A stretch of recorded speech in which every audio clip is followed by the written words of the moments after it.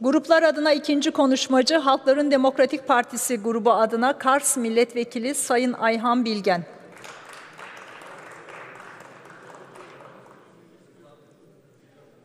Buyurun.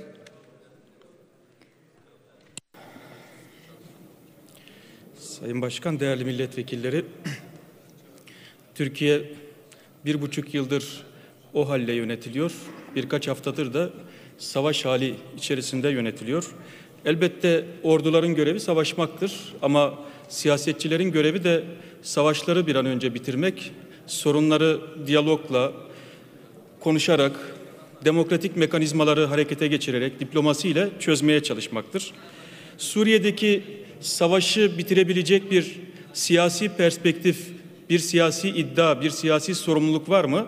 Sadece bugün Sayın Başbakan'ın Hariri ile yaptığı görüşme sonrasındaki açıklamasındaki şu cümleyi, cümleyi dikkatinize sunmak istiyorum. Sayın Başbakan diyor ki Suriye'de bütün grupların eline silah almamış, terör faaliyeti yapmamış, bütün etnik yapıların temsil edileceği uzun vadede bu olayların sorumlusu olanların da yer almayacağı bir barışın tesis edilmesi. Şimdi Suriye'de eline silah almamış grup hangisi? Doğrusu ben bilmiyorum. Ee, yani böyle bir örnek benim bildiğim yok. Peki Suriye'de eline silah alanların hangileri terör örgütü? Kime göre terör örgütü? Bu konuda da bir kriter yok. Cümlenin devamında da bu işlerin asıl sorumlusu uzun vadede gidecek diyor. O da galiba Esad olsa gerek. Şimdi bir taraftan Suriye'nin toprak bütünlüğü, bir taraftan eline silah almamış gruplar gibi bir iç savaş ortamında hiçbir anlamı olmayan bir tanımlama ve nihayetinde de yani oradaki rejimle ilgili doğrudan doğruya bir irade beyanı başka bir ülke adına, başka bir ülkenin temsilcisi olarak. E şimdi yani bu üç cümleyi yan yana koyduğunuzda Türkiye'nin bir Suriye politikası var demek mümkün mü? Suriye'deki ateşi söndürecek bir irade, bir karar var demek mümkün mü? Değerli arkadaşlar nasıl bu siyasi yaklaşımlarla komşudaki ateş sönmezse, komşudaki ateş sönmedikçe de aslında bu coğrafyada Orta Doğu'da hiçbir halk, hiçbir toplum, hiçbir ülke güven içerisinde olmazsa aynı şekilde tıpkı bu savaş hali gibi o halle ilgili de çok net bir irade, çok net bir kararlılık ortaya çıkmadıkça bu ülkede huzur, barış ve güven olmayacak. Öncelikle tabii o hal ve KHK'larla ilgili birkaç şeyi ifade etmek isterim. Çünkü üzerinde konuştuğumuz 684 sayılı KHK da aslında çok tipik bir e, örnek bu açıdan. Çünkü içerisinde bir yandan gözaltı sürelerinin kısaltılması gibi yani kısmen olumlu ama 15 Temmuz sonrasında çok kötü bir pozisyona çekilmiş düzenlemenin kısmi iyileştirilmesi ya da işte müdafilerle görüşme hakkı konusunda yeni düzenlemenin yapılması gibi 684'te olumlu diye tarif edebileceğimiz şeyler var. Diğer yandan başından beri söylediğimiz, uyardığımız o halle hiçbir ilgisi olmayan KHK'ların varlık sebebiyle hiçbir izahı mümkün olmayan düzenlemeler var. Merkez Bankası'nın banknot basmasıyla ilgili, yine kamu bankalarının alacaklarının yönetimiyle ilgili, konut satış sözleşmeleriyle ilgili, evet varlık fonunun yine kaynaklarıyla ilgili düzenlemeler var. Şimdi bir ülkede devlet hukuka uymazsa, devlet anayasaya uymazsa, anayasada tarif edilmiş olan düzenlemeleri yok sayarak yönetmeyi alışkanlık haline getirirse kimsenin hukuka uymasını bekleyemez. O halin ne için ilan edildiği belli. KHK'ların hangi alanı düzenleyebileceği yine anayasada çok net biçimde tarif edilmiş ama bile bile buna rağmen bütün KHK'larda olduğu gibi 684 sayılı KHK'da da o halle, güvenlikle, terörle, darbeyle hiçbir ilgisi olmayan düzenlemeler yapılıyor, yapılmaya devam ediliyor. Değerli milletvekilleri, tabi bu düzenlemeler aynı zamanda bir pratiğin de aslında yansımasını şekillendiriyor. Bugün tahliye kararı çıkan Büyükada davası bu açıdan aslında ilginç bir dava. Ben sadece hatırlatmak için Bir tanesini buraya getirdim. Büyükada'da gözaltılar başladığında hükümete yakın gazetelerden birisi, bol resimli gazetelerden birisi, çok okuyucu değil, resim bakmayı tercih edenler için düzenlenmiş gazetelerden birisi, Büyükada'daki sır toplantının amacı belli oldu. Büyükada'da 10 ajanın yaptığı gizli toplantıda yakalananların arasında İsveç uyruklu filanca vardı ve 10 ajan önlerine harita koymuş Türkiye'yi nasıl böleceklerinin planlarını yapıyorlardı.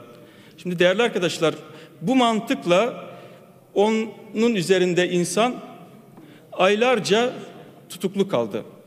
Şimdi 10 tane ajan idiyse bu isimler ki burada o isimleri çok yakından tanıyanlar var. Birlikte mesai yapanlar var. Aynı derneklerde insan hakları mücadelesi yürütenler var. En son tahliye olan Taner Kılıç'la bizatihi mesai yapan iktidar partisi milletvekilleri var. E şimdi eğer bu isimler daha yargılama başlamadan, haklarında iddianame hazırlanmadan peşinen ajan diye ilan ediliyorlar. Doğrudan doğruya Türkiye'ye yönelik bir ihanetin nesnesi oldukları deklare ediliyorsa zaten yargılamanın da hiçbir önemi, hiçbir değeri kalmıyor.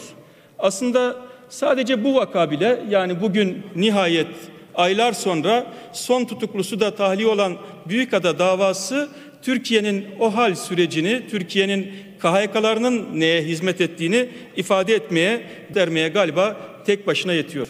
Değerli arkadaşlar artık af örgütü Türkiye'yi defterinden sildi.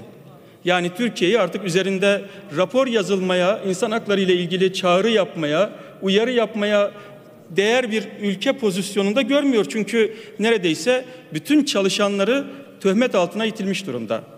Neredeyse bütün çalışanları hedef gösteriliyor, yargısız infaz ediliyorlar, adeta bir siyasi lince maruz bırakılıyorlar. Elbette ki insan hakları örgütlerinin uluslararası ilişkiler bağlamında, boyutunda eleştirilecek, tartışılacak boyutları vardır. Ama siz tanıdığınız, bildiğiniz insan hakları savuncularını bile bu kadar keyfi biçimde tutuklamayı, bu kadar uzun bir süre mağdur etmeyi normal görmeye başlarsanız artık o ülkede yapılan olumlu işlerin bile savunusu olmaz. Savunusuna imkan kalmaz. Değerli arkadaşlar, Taner Kılıç hangi alanda çalışıyordu? Af örgütü dışında mülteci derin yöneticisiydi, kurucusuydu. İzmir'de mültecilere hukuki yardım veren neredeyse uzman birkaç dernekten birisi mülteci der.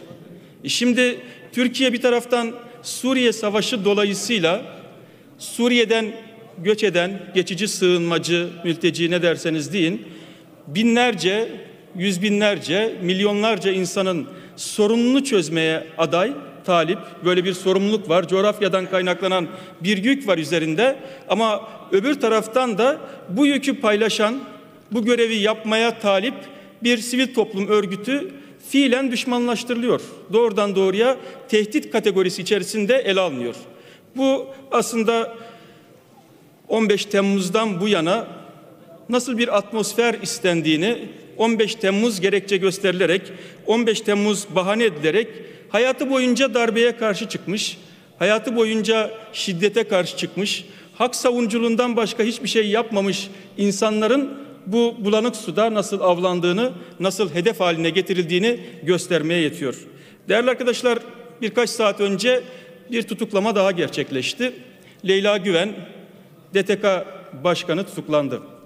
Demokratik Toplum Kongresi ile ilgili burada birçok milletvekili, ben de dahil olmak üzere birçok milletvekilimizle ilgili hazırlanan fezlekeler var. Ve bu fezlekelerde değerli arkadaşlar zaten bir şiddet iddiası falan yok. Yani sadece katıldığımız toplantılar var. Bu toplantılarda yaptığımız konuşmalar var. Leyla Güven de daha önce anayasa toplantılarına çağrılmış olan, anayasa toplantılarında görüşüne başvurulmuş olan DTK'nın sözcüsü, temsilcisi. Ve hepimizin fezlekelerinde olduğu gibi Leyla Güven'le ilgili iddialarda da sadece ama sadece Türkiye'nin demokratikleşmesi, barışı, özgürlüğüne dair söylemler, iddialar var. Benim DTK'nın düzenlediği bir anayasa paneline katılmış olmam fezleke olarak düzenlendi, meclise gönderildi. Yine İslam ve barış konulu bir paneline DTK'nın katılmış olmam bir başka fezlekeyle meclise gönderildi. E şimdi siz bu ortamı gerçekten bu yaklaşımı Türkiye'nin demokrasisine, Türkiye'nin barışına, huzuruna, güvenine hizmet edecek bir yaklaşım olarak görebiliyorsanız doğrusu çok söylenecek şey kalmıyor. Herkes saygıyla selamlıyorum. Teşekkür ederiz Sayın Bilgen.